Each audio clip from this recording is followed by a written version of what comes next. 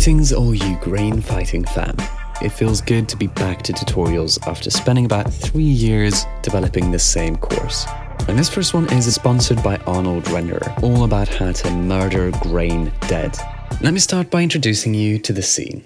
We are flying through space across a lonely asteroid, and upon that lonely asteroid is a lonely little astro dude. Let me stop right there while he's waving, because that's a good frame to do a test render of. While that's rendering, I'm going to flog the course in your face. The Process of Motion is a course for motion designers and 3D creatives. It will give you the tools you need to lead motion design projects and take on projects directly from clients in the comfort of your own home, which I hear is popular these days. We're most likely down to the last 100 spots on the course. If you want one, get it at processofmotion.com. Phew, and conveniently enough, that test frame just finished. And if we look at it, we see a quite slow, quite grainy scene the complete opposite of what we want. And that's because there's quite a bit going on in the scene. We have the diffuse, we got some specular, and then we have the little dude who is chock full of subsurface scattering. And there's a bit of volume, and at the moment, all of that is full of grain. But before we can kill any of it, we must first find it. So let me introduce you to the main culprits and main solutions to any type of grain in your scene. And that is in the render settings, Arnold Renderer, and sampling. In here you find six different sampling values, starting with the camera AA, also known as the super sampler. And that one tells Arnold exactly how many rays to shoot out per pixel from your frame into the scene to go looking for light and color. And that's set to 3 at the moment.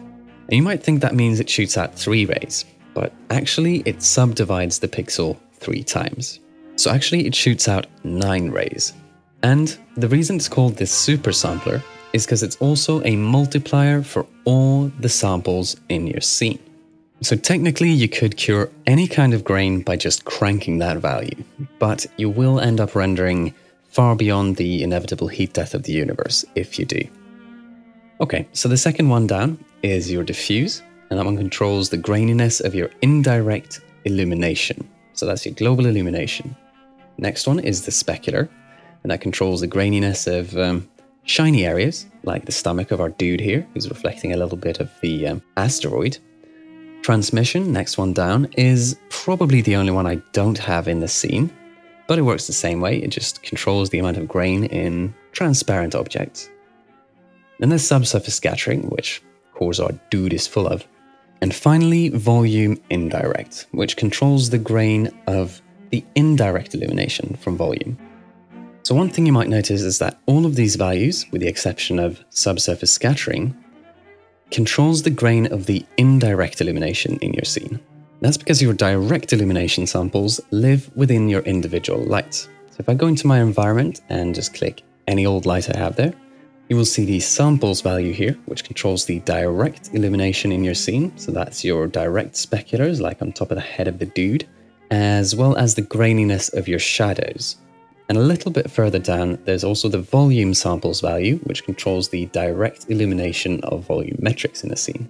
So obviously there's more than a few sample values you need to tweak to make sure your render is both grain-free and as fast as possible. But I use a very simple and quick method to make sense of them all and to do them all in sequence.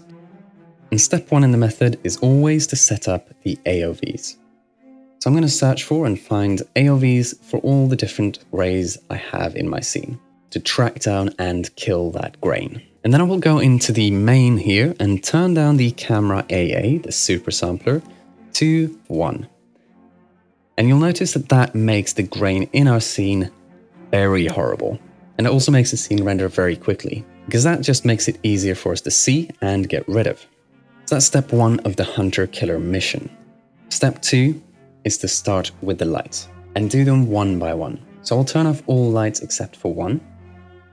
And then I will turn on something called Daniel's Little Helper, which is just a solid box, which is going to capture some shadows in the scene.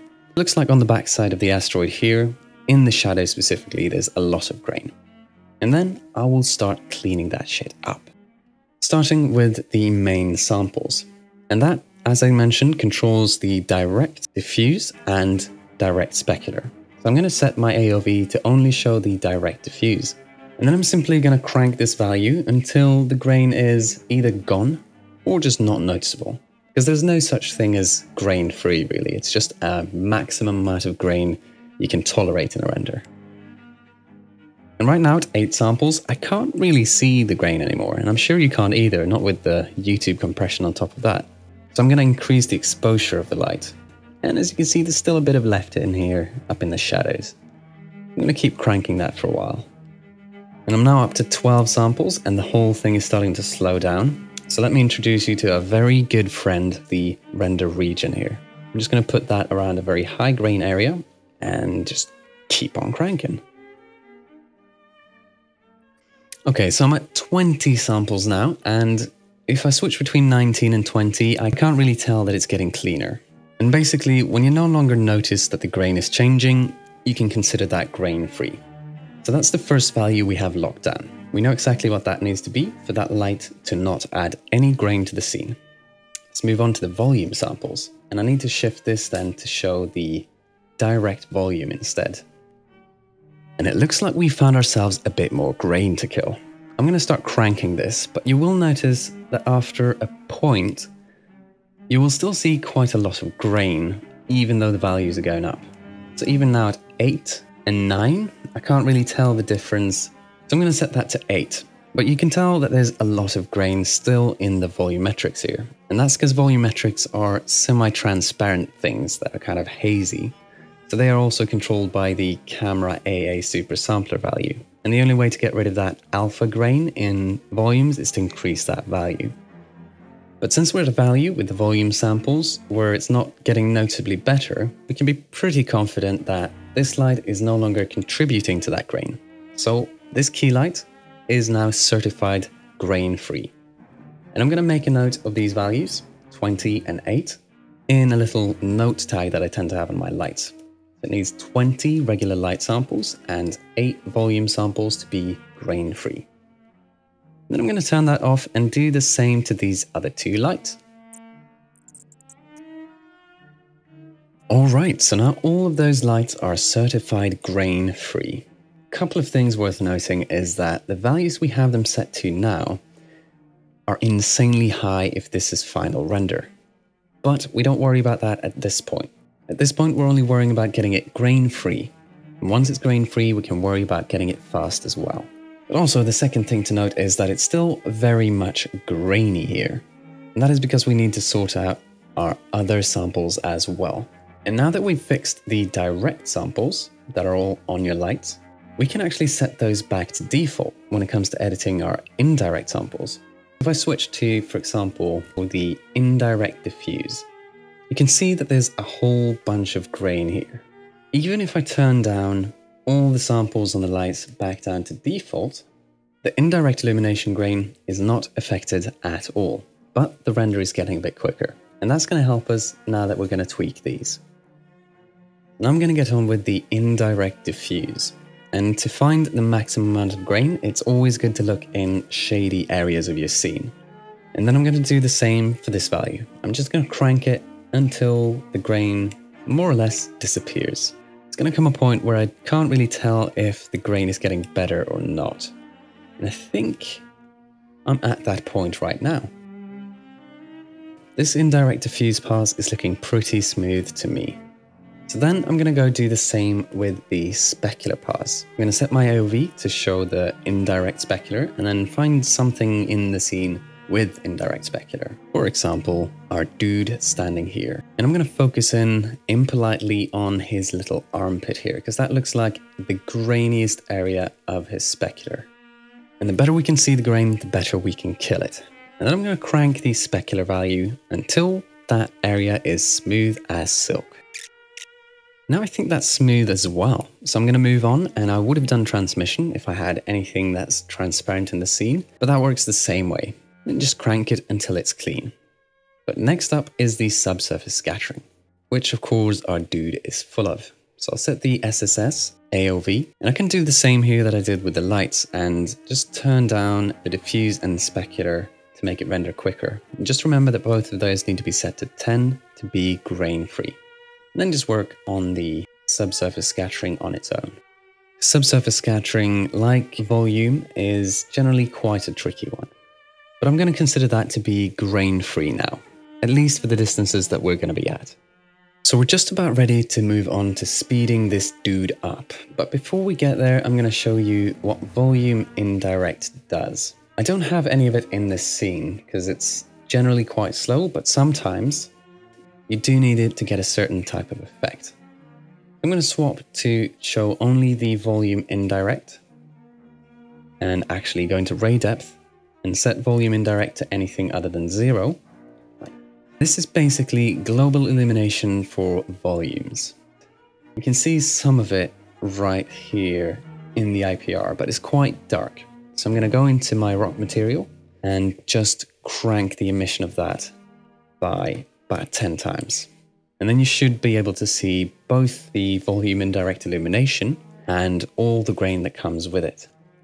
Normally that needs to be smooth, and to fix that you would crank the volume indirect samples, and it does add a lot to the render times. But if we switch to beauty and show all the passes on this, you can tell that it doesn't really add much to the scene. If I set the rock back to have the emission I wanted at, instead of 12.5, which is a bit insane, you won't actually see much indirect illumination in the volume anyway, because there's so much else going on in the scene. Set that back to default and set the volume rays down to zero. And then I'm going to set all of these values to the ones they need to be to be certified grain free, including the direct light samples on the individual lights. So this is our frame at the moment. I would say it is cleaner, definitely slower, but it isn't grain free yet. And that's when we have to start touching the super sampler. Because right now we know that all the grain in the scene comes from a lack of camera AA samples. All the other rays in the scene have been certified grain free. So the only thing we can do to get rid of the grain that we have is to turn up the camera AA samples. Now, I did mention that it is a multiplier for all the samples in your scene. Because what happens is when it sends out diffuse samples, it splits every pixel 10 times, multiplied with the super sample value, the camera AA value. If I was to set that to 3, the amount of diffuse samples is 10 times 10 times 3 times 3, which is 900. Because all sampling values in Arnold are per pixel and they are all squared because they are subdividing the pixels. So I'm going to select a region where there's heavy grains, and then I'm going to start cranking the camera AA values. But now we need to reduce all the other samples in our scene just to make sure that it's not slower or more grain free than it absolutely needs to be. And that's easy enough. Since we doubled the camera AA value, and that's a multiplier for all the other ones, we know that we need to divide all the other values in half and then do the same for all the samples in our light. And if we do another test render now, we can see that it's a lot more grain free and a bit slower, but it's still not completely perfect. So we do need to turn up the camera AA values again. But this time it's not quite as easy. Because if I turn that one up to 3 now, I'm not doubling the value, so I can't simply divide all the other values in half. It's easy enough for the diffuse and specular because that one has this little guide box here. But the subsurface scattering and the light samples don't have that same luxury. But let's start with diffuse and specular. When I set that to 3, the diffuse rays are 225. If I turn that down to 4, it is closer to the 100 we need to have that certified grain free. And if I turn it down to 3, it's slightly under but I think I'm going to leave it at 3 because that's slightly quicker and it's also closer to 100 than 144 is. And then do the same for the specular. But now when we get to the subsurface scattering, we don't have that guide to show us how much to turn it down by. But that's when I have a little equation for you. Because we know that for subsurface scattering, we need 196 rays per pixel for it to be certified grain free. And the equation I have is that the samples squared times the camera samples squared equals the total rays. So we know that the camera samples are 3, and we know that the total rays are 196. And now we just need to solve for x to find out exactly what number we need to put in to the samples for subsurface scattering. And if you just search the World Wide Web for equation solver, you're going to find a website that can do this for you. Lord knows I did. And it told me that x in this case equals 4.66666666. So I'm going to set the subsurface scattering to 5. And then I'm going to go in and adjust these lights. And I can use the same equation there.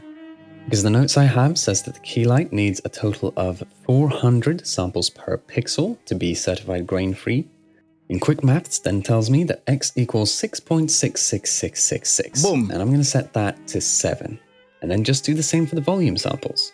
And all the other lights. Now that I've gone through and done that with all the lights in my scene, we can finally go through and do another test render. And once again, we have a cleaner render, which really isn't much slower at all. But I still think I might need to turn up that camera A value by just one more, just to clean up his arm a final little bit. Alright, now we have a really rather clean render. And you can see that this, compared to the original render we had, is many times cleaner without being that much slower. Now, if your render is still a little bit too slow for your liking, if you want some corners to cut, you should start by looking at individual lights. You can see if there's any of the lights that can exclude any object in the scene. For an example, my uh, bounce light here doesn't do much for the smoke, so I could simply take the bounce light and exclude the smoke from that that way I'm going to save quite a few volumetric light rays. If you want to cut even more corners, start looking at the individual samples on your lights. You should be able to turn some of those down and introduce a bit more grain in your scene without completely ruining the whole thing. Only as a very last resort should you start turning down the samples in your render settings. But I must admit that I've been known to do that more than a few times. Because it's not really about having it be completely grain free, it's about having the amount of grain you can get away with. So, to be a master assassin of grain in Arnold, step 1 is to set up your AOVs and set the super sampler to 1. Step 2 is to clean up your direct rays in your lights. Step 3, clean up the indirect rays. Finally, step 4 is to turn up the super sampler and do your quick maths. Boom. And then you should have the cleanest possible and fastest possible render in Arnold. Basically, ready to send off to a render farm, which is exactly what I'm going to show you how to do in the next tutorial. So big thanks to Arnold for sponsoring this video and rendering of the process of motion. And as always, thank you for your time. And until next time, stay in motion.